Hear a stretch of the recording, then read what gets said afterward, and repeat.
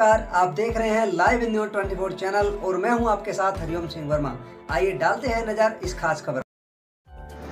Hapur SP दीपक भूकर के नेतृत्व में हापुड़ पुलिस की बदमाशों के बीच डबल मुठभेड़। बताते चलें, हापुड़ एसपी दीपक भूकर के निर्देशन में पिलखुआ पुलिस और एसओजी टीम तथा हाफिजपुर थाना पुलिस और एसओजी टीम की अलग अलग मुठभेड़ में दो बदमाश दबोचे। सीओ पिलखुआ और एएसपी हापुड़ सर्वेश मिश्रा जी ने अपने आधिकारिक वक्तव्य जारी कर किया खुलासा। यानी हापुड़ पुलिस का बदमाशों पर जमकर चल रहा है हंटर। दुर्वेश तोमर की रिपोर्ट। ग्यारह बटे बारह की रात्रि में थाना हाफिजपुर क्षेत्र में घटित लूट की घटना के संबंध में चेकिंग अभियान चलाया गया। चेकिंग के दौरान एक बदमाश से मुठभेड़ हो गई, जिसमें वो घायल हुआ। पूछताछ के दौरान उसने अपना नाम प्रिंस बताया।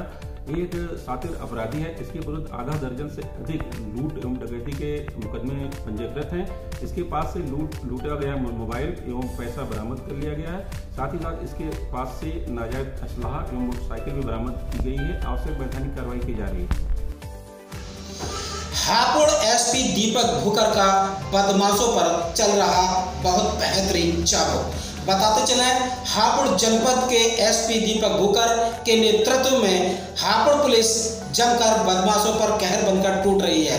आज दिनांक 12 जुलाई को दो मुठभेड़, यानी एक हाफिजपुर एसओजी टीम और बदमाश के बीच मुठभेड़ हुई तो दूसरी मुठभेड़ पिलकुआ पुलिस एसओजी टीम और बदमाश के बीच मुठभेड़ हुई। पिलकुआ पुलिस द्वारा गिरफ़्तार अभियुक्त अंकित जावला, पुत्र सुधीर जावला, जो कांधले जिला शामली का निवासी है तो हाफिजपुर पुलिस के द्वारा जो गिरफ़्तार बदमाश है, प्रिंस उर्फ़ दरोगा पुत्र स्वराज निवासी जो है, भोजपुरी गाँव, भोजपुरी है और जो भोजपुर थाना गाजियाबाद का रहने वाला है।